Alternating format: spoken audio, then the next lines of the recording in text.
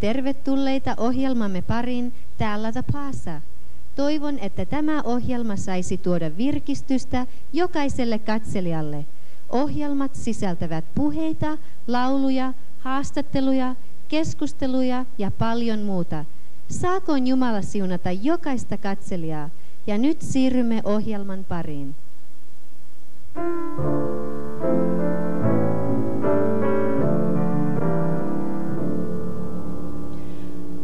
Sano, muistatko Jeesuksen ääntä? Aivan vuosilta lapsuuden. Silmät kyynelin katsoit sä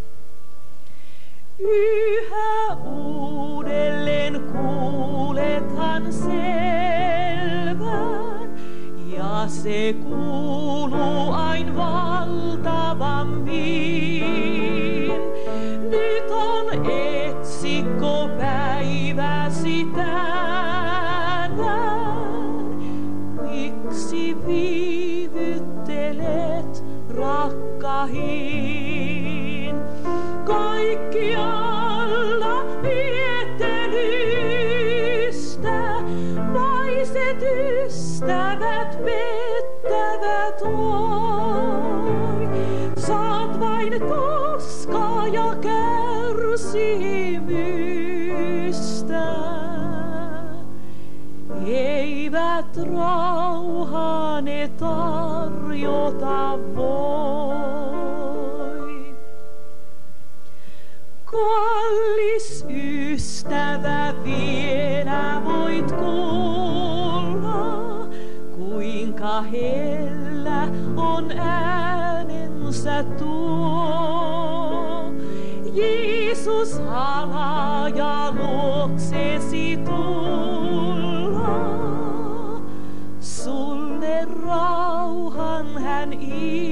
Iäisen suo. Varmaan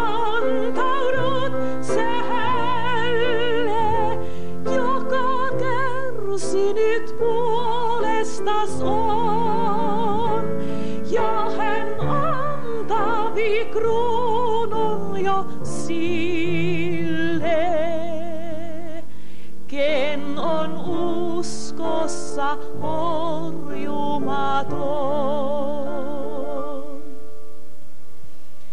Ethän syöntäsi hältä voi kieltää, joka hellästi sua rakastaa. Katso aikasi tuhlaten rientää, sielusi voit kadottaa. Saako Jeesus tulla tänään sinun särkynen syömmesi luo? Älä vastusta häntä nyt enää. Iki sulle hän tuo.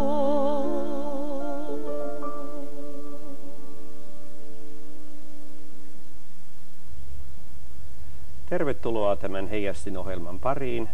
Tänään keskustelemme aiheesta, joka koskee lapsia.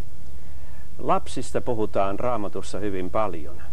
Raamatun kieli yleensä on hyvin niukka, tosin hyvin sisältörikas, mutta lapsista puhutaan yli 600 kertaa. Ja Jeesuskin sanoi aikoinaan, että sallikaa lasten tulla minun tyköni. Lapsista haluamme tässä ohjelmasta, keskus, äh, ohjelmassa keskustella ja kanssani on tästä aiheesta keskustelemassa Mrs. Ritva Pönni, kahden lapsen äiti, seurakunnan äh, pyhäkoulun ohjaaja, ohjaaja ja leirien vetäjä ja niin edelleen. Tervetuloa Ritva tähän ohjelmaan mukaan. Kiitos. Äh, kun on lapsesta kysymys, sinä olet äh, äiti ja olet myöskin pyhäkoulun opettaja. Oletko todennut, että lapsilla olisi muuta kuin näitä ruumillisia tarpeita? Onko heillä hengellisiä tarpeita olemassa? Hyvin voimakkaita hengellisiä tarpeita. Olen itse pyhäkoulussa opettanut eri ikäryhmiä alkaen aina tuosta 4-5-vuotiaista yli 10-vuotiaisiin saakka. Ja kaikissa heissä olen, olen havainnut ja huomannut, että taivaalliset asiat ne kiinnostavat. Ja Raamatuhan meille vakuuttaa, että ihminen on iankaikkisuusolento. Lapsi on pienoiskokoa oleva aikuinen. Meidän tulee tämä muistaa, jolla on niin kuin meilläkin isoilla sekä sielu että henki, joka odottaa täyttymystään. Meillä aikuisilla on monia tarpeita ja lapsilla on, on tarve kokea rakkautta, turvallisuutta, rauhaa ja, ja ennen kaikkea anteeksi saamista muutamia mainitakseni. Yleensä isä ja äiti joissakin määrin voivat antaa ja korvata, antaa lapsille ää, sitä, mitä he tarvitsevat näillä elämän alueilla, mutta koska me ihmisinä me olemme vajavaisia, puutteellisia, niin se ei täydellisesti tyydytä sitä lapsen sisäistä tarvetta. Lapsi tarvitsee tietoa suuresta ja rakastavasta Jumalasta ja Jeesuksesta hyvänä paimenena, johon voi turvata aina ja ja kaikessa. Ja se tuo lapselle suuren turvallisuuden tunteen ja ilon hänen sisimpäänsä. Tästä voimmekin juuri siirtyä sen tähän, mitä ajoin juuri seuraavaksi kysyä sinulta, että mitenkä lapsi kokee nämä hengelliset asiat, kun yleensä on sellainen käsitys, että lapsille ei pitäisi puhua, että tämä tuottaa kauhua tai pelkoa tai jotain mm. muuta. Mitenkä sinä olet havainnut tämän lasten elämässä? Miten he kokevat nämä hengelliset asiat? sanoisin, että se riippuu hyvin pitkästi ensinnäkin, minkälaista tietoa hän on saanut näistä asioista. Kuitenkaan niin lapsi varhaisessa lapsuudessaan hän ei ole samalla tavalla niin kuin aikuinen joutunut synnin pauloihin ja synnin pettämäksi, vaan hänen on oikein helppoa ja luontaista lähestyä Jumalaa. Ja sanoisinkin, että lapsi ei ole kaukana Jumalasta. Syntyi hän, hän tänne maailmaan viattomana. Sanoisin, hän syntyi tänne Jumalan lapsena. Ja Jeesus sanoikin, me kaikki muistamme ja tämän raamatun kohdan, että lasten kaltaisten on taivasten valtakunta. Lapsi on luonteista, luonteen, luontaisesti lähellä Jumalaa. On hyvin tärkeää, että lapselle annetaan jo aivan varhaisesta lapsuudesta alkaen sellainen oikea, terveellinen ja totuudenmukainen kuva Jumalasta. Ja olisinkin sitä mieltä, että siihen kaikkein parhaiten pystyy sellainen henkilö, joka on itse äh, elää läheisessä Jumalasuhteessa, elää puhdasta hengellistä elämää, vapaana synnistä. Ja sellainen henkilö parhaiten voi, voi välittää Jeesuksen lapselle ja Jumalan, joka hänelle itselleen on hyvin, hyvin läheinen. On oikein ikävää, että lapselle voidaan myöskin antaa Jumalasta vääristynyt kuva ja silloin hän kokee nämä hengelliset asiatkin vääristyneellä tavalla.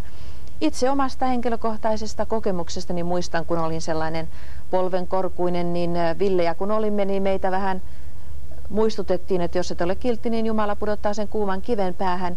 Ja silloin minulle tuli Jumalasta sellainen, sellainen että Jumala on sellainen vihainen mies. Ja minulle annettiin vääristynyt kuva Jumalasta. No entäs tämä, että puhuuko lapsi mielellään Jumalasta sitten ja Jeesuksesta ja enkeleistä ja taivaasta? Jos hän vaan hänelle on kerrottu niistä, niin, niin sanoisin, että lapsi oikeastaan elää niissä. Hänen mielikuvituksensa on hyvin elävä ja vilkas. Ja sitten tulevat raamatun kertomukset, tulevat enkelit ja kaikki tällaiset asiat jopa hänen leikkeihinsäkin mukaan. Ää, muistan, tuli muisti tässä mieleeni, muistan Suomesta erään perheen pienen pojan, ää, joka kun toiset lapset ajoivat pihalla sellaisilla kolmipyöräisillä pyörillään, niin tämä Harry poika kulki heidän vierellään, juoksi vierellä. Ei häntä kiinnostanut ne polkupyörät, hän ojensi kätensä ja leikki suojelusenkeliä. Ja äh, meillä kotona on täysin luonnollista, että voidaan täysin vapaasti, luonnollisella tavalla keskustella Jeesuksesta, raamatusta, taivaasta milloin tahansa ja missä tahansa. Lapsella voi olla hyvin pitkälle kehittynyt ja looginen ajatustapa. Ja hän pohtii ja miettii hyvinkin paljon näitä asioita. Muun muassa meidän poikamme, kun hän oli neljävuotias, hän, häntä kiinnostivat, esimerkiksi kiinnosti Jeesuksen takaisin tuleminen ja mistä paha on saanut alkonsa, kuka paholainen on. Vaikka nämä on semmoisia epämieluisia asioita, niin kerroin hänelle ilman kiihkoa hyvin, hyvin rehellisesti näistä asioista ja selitin pahan alkuperän, että on olemassa persoonallinen paha. Mutta kuitenkin, kaiken minä kuitenkin halusin lopettaa siihen, että Jumala on suuri ja yläpuolella kaiken. Ja me olemme turvassa hänen luonaan. Lapsi voi kokea nämä asiat hyvin todellisena. Se oli meillä hyvin sellainen tavallinen puheenaihe aina päivittäin, varsinkin kun he olivat aivan semmoisia polvenkorkuisia, ei minun tarvinnut aloittaa keskustelua, niin he puhuivat ja keskustelivat. No entä sitten tällainen asia tässä äh, haluaisin kysyä, äh, että tuota, voiko lapsi kokea aitoja hengellisiä kokemuksia. Hänellähän voi kenties olla jo synnin tuntuakin ja muuta, mutta tuota, voiko hänelle tulla sellaisia kokemuksia, että ne kantavat halki koko hänen elämänsä? Kyllä. Olen äh, tästä aivan varma ja vakuuttunut. Ja lapsen kokemukset voivat olla hyvin aitoja. Joskus minun mielestäni ne ovat paljon aido, aidompia kuin meidän aikuisten syytä, että siitä syystä, että lapsella ei ole mitään takataskussa ja he ovat ehdottomien vilpittömiä kaikessa siinä, mitä he, he tekevät. Tosin äh, näihin hengellisiin kokemuksiin ää, vaikka niiden hengellisten kokemuksen tulokset, ne ovat aina hyvin myönteisiä. Mutta niihin voi olla sellaisia, niihin voi sekoittua joskus kyyneleitäkin, esimerkiksi synnin katumisen yhteydessä. Ei se katuminen olekaan päämäärä. Olen monta kertaa ajatellut, että katuminen on vain aivan niin kuin silta, joka johtaa tuomiovirran ylitse niin rauhan ja anteeksi antamuksen mm. satamaan. Ähm, joskus olen murheekseni joutunut myöskin toteamaan, että monet aikuiset, joilleka, joilla itsellään saattaa olla sellainen kovettunut, kovettunut, jos sydän ja vähän paatumustakin on sinne tullut, eivät aina ymmärrä näitä lasten hengellisiä kokemuksia, että ovat saattaneet äh, panna puomia ja esteitä lasten tielle. On hyvin tärkeää, että, että aikuiset ymmärtäisivät ja sallisivat todella heidän tulla Herran luokse. Hengelliset kokemukset ovat elämän myönteisiä ja kantavat todella, antavat pohjaa koko tulevalle elämälle ja iankaikkisuudelle ennen kaikkea. Hyvä, kiitos Ritva. Kohta äh, jatkamme tätä keskustelua, mutta tässä välillä pyydämme, että sinä laulaisit meille yhden laulun nimenomaan juuri näiden pienokaisten lasten elämästä. Mm. Nyt kerron mä sulle lapseni, miten kaunis on taivaan enkeli. On kutrinsa välkkyvän kultaiset ja siipensä ohtavan valkoiset. Mitä vartenpa vain ovat enkeliparvet valveilla ain. Kun koulun sä kuljet lapseni, sua seuraapi taivahan enkeli. Hän vierelläs käy aina varjellen, sua lapseni pieni ja hentoinen. Mitä vartenpa vain ovat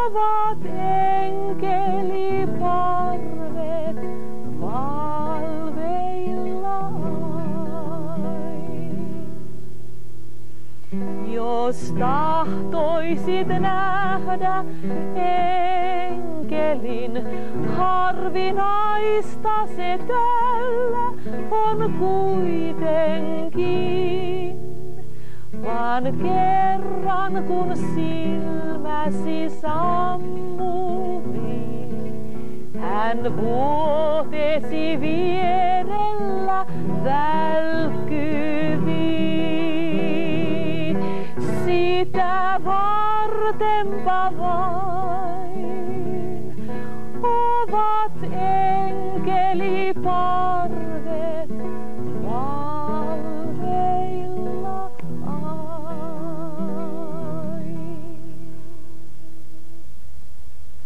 Kiitos Ritva kauniista laulusta. Siis se oli erittäin kaunis ja lämmittävä laulu. Eh, Haluaisin kääntyä nyt eh, toiseen puoleen tässä lapsen asiassa ja se, miten me vanhemmat, miten meidän tulisi asennoitua lapsen kasvattamiseen. Ja nyt lähinnä siihen, että mikä on isän ja äidin esimerkkivaikutus lapsen elämään. Kysyit hyvin, hyvin tärkeän ja vaikean Uskon. kysymyksen. Jokainen meistä vanhemmista parhainkin kokee suurta puutteellisuutta lasten kasvattamisessa. Ja myöskin hengellisissä asioissa se pätee aivan samalla tavalla. Mutta äh, emme voi väistyä tästä tehtävästä pois, emmekä, äh, emmekä kieltää sitä tosiasiaa, että isän ja äidin elämän esimerkki on äh, paljon suurempi kuin me monta kertaa luulemmekaan.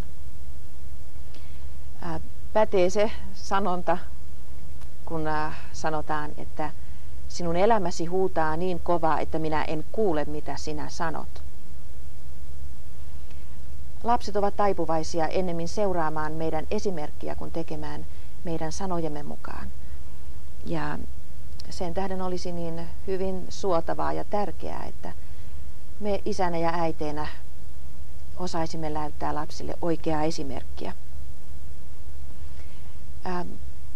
Vanhempien neuvojen ja elämän välillä tulisi vallita sellainen suloinen sopusointu, ettei elämä ja neuvot ole keskenänsä ristiriitaisia.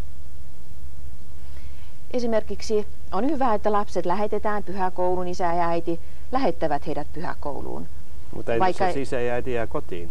Niin vaikka he jäävätkin, jäisivätkin itse kotiin, se on hyvä.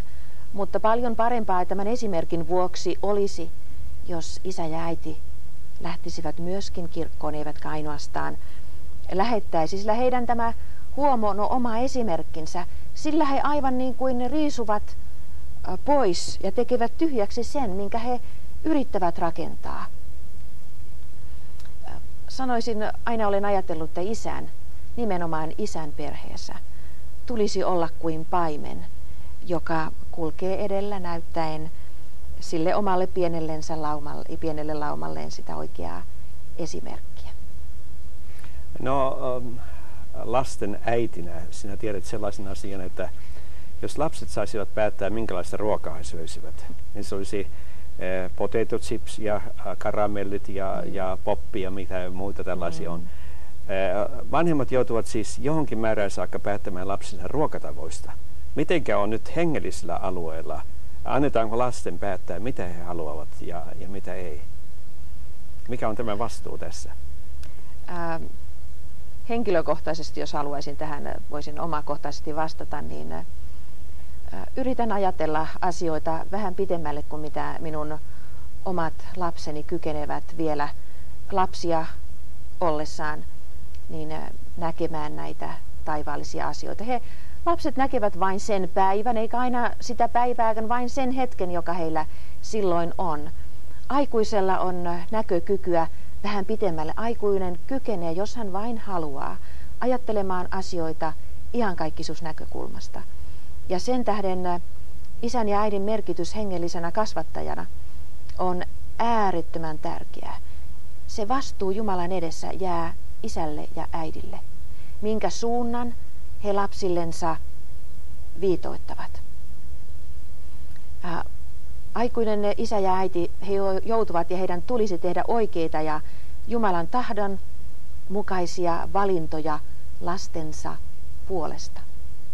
Ja tämä ei ole minkäänlaista henkistä väkivaltaa, vaan ohjausta tiettyyn suuntaan lasten puolesta. Nimenomaan sellaisina ikävuosina, jolloin he eivät vielä ole itse kypsiä ymmärtämään näissä asioissa omaa parastaan. Ja nämä hengelliset asiat ovat niin kauaskantoisia, että ne kantavat aina ihan kaikkisuuteen.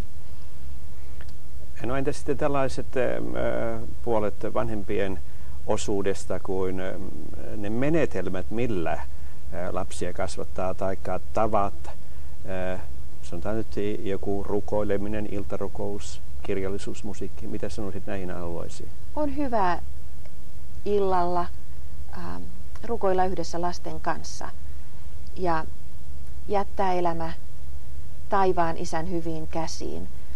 Lapset kokevat monia pelkotiloja ja on hyvä lähestyä Jumalaa. Heidän sydämeensä tulee turvallisuus. Siinä on yksi tapa. On saatavilla paljon hengellisiä hyviä ää, laulukasetteja, lasten kasetteja, kirjallisuutta. Nämä ovat muutamia tapoja, joita, joilla voidaan lasten hengellistä kasvua ohjailla ja auttaa siinä kodin ympäristössä. Keskustella näistä asioista, yhdessä lukea raamattua.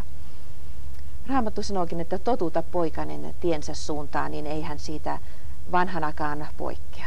Mm. No siirtykäämme nyt kodista äh, seurakunnan keskelle.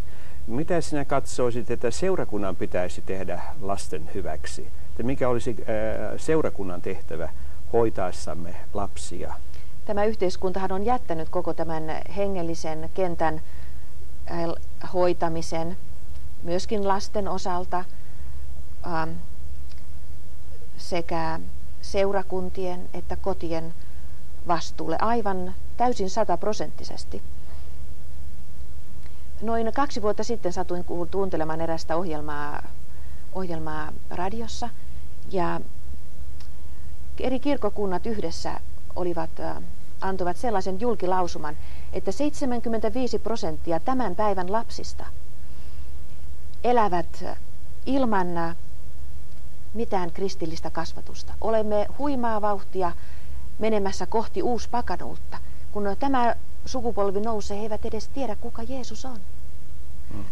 Ja sen tähden seurakunnat haluavat tehdä kaikkensa pyhäkoulutyön muodossa, nuorisokerhotyön muodossa, pyhä, leiri, leirien muodoissa. Ja on hyvä tuoda myöskin lapset yleisiin julkisiin tilaisuuksiin Jumalan sanan kuuloon, totuttaa heidät tiensä suuntaan. No saako yleisö siis näin yleisesti ottaen lapsemme nykyaikana tätä hengellistä kasvatusta tarpeeksi vai, vai miten sinä koet tämän asian? Ähm. Minusta nimittäin tämä on hyvin huolestuttava vai asia. Ei saa. Koska esimerkiksi kouluissa ei ole minkään kaltaista edessä, edes yksinkertaisintakaan raamatun opetusta. On ainoastaan se aamurukous, joka sekin on voimakkaasti vaakalaudalla. Kristityt kodit ja vanhemmat voivat jossain määrin huolehtia lastensa hengellistä kasvatuksesta kotona, mutta ainoastaan seurakunnat voivat huolehtia raamatun systemaattisesta opetuksesta, joka kattaa raamatun sisältämän koko totuuden. No nyt kun ä, alkaa syyskausi jälleen seurakunnan toiminnassa, niin mitä sinä sanoisit vanhemmille nyt heidän lastensa suhteen? Minkä vetoomuksen esittäisit heille eh, seurakuntaa nähden, kun sinä itse olet pyhäkoulun johtaja-opettaja? Olemme varautuneet ottamaan kaikki lapset pyhäkouluun mukaan, ketä suinkin sinne lähetetään. Ja olemme varautuneet myöskin yleensä kristittyinä myöskin tarjoamaan heille kyyditystä. Ja olemme varautuneet rukoillen, että voisimme niin monia kuin mui, suinkin auttaa saamaan elämällensä varman ja turvallisen kalliopohjan silloin, kun tulee elämän koettelemuksia ja vaikeuksia, niin se on ainoastaan Jumalan sana, henkilökohtainen Jumalakokemus, joka, joka antaa meille voimaa käydä kaiken lävitse ja eräänä päivänä päästä kerran perille. Vanhemmat tekevät äärettömän viisaasti, jos he lähettävät lapsensa Jumalan sanan kuulun. He antavat sellaista pääomaa, sellaista pääomaa heille, jonka varaan sitten voidaan koko elämäkin rakentaa. Kiitos Ritva näistä hyvistä ohjaavista sanoista. Seurakunnan johtajana haluan vakuuttaa, että haluamme tehdä parhaamme, että voimme järjestää ne olosuhteet myönteisiksi, että lapset voivat tulla pyhäkouluun. Ja haluamme rukoilla lasten puolesta ja pyhäkoulun puolesta, että tämä pyhäkoulu saa parhaimman menestyksen. Lähetä siis isä ja äiti lapsesi pyhäkouluun nyt, kun ne mm. jälleen syyskuussa alkavat. Tervetuloa kaikki lapset pyhäkouluun ja vanhemmat mukana meidän seurakuntamme tilaisuuksiin.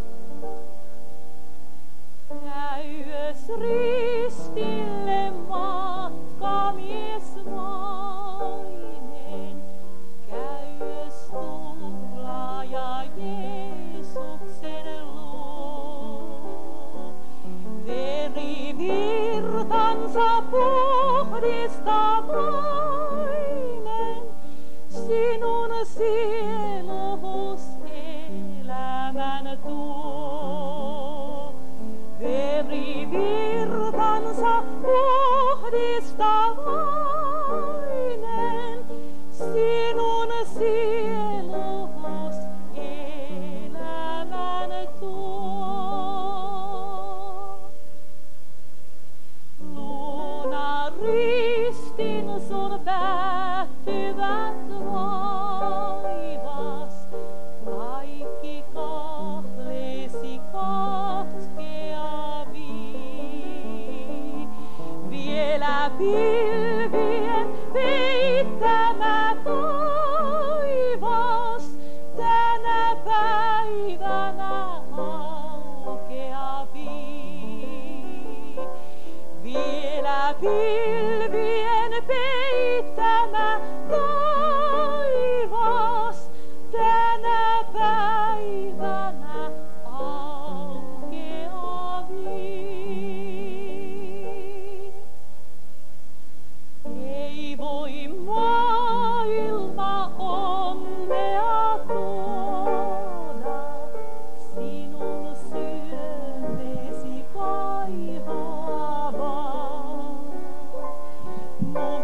Jeesuksen raha.